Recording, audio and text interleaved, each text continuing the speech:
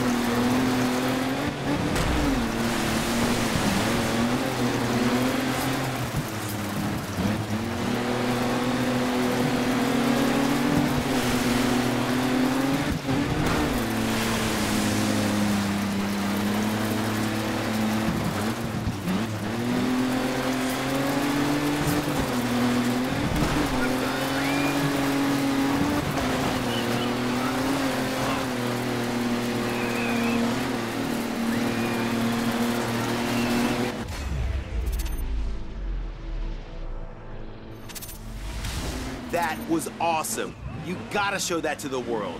Put it on YouTube.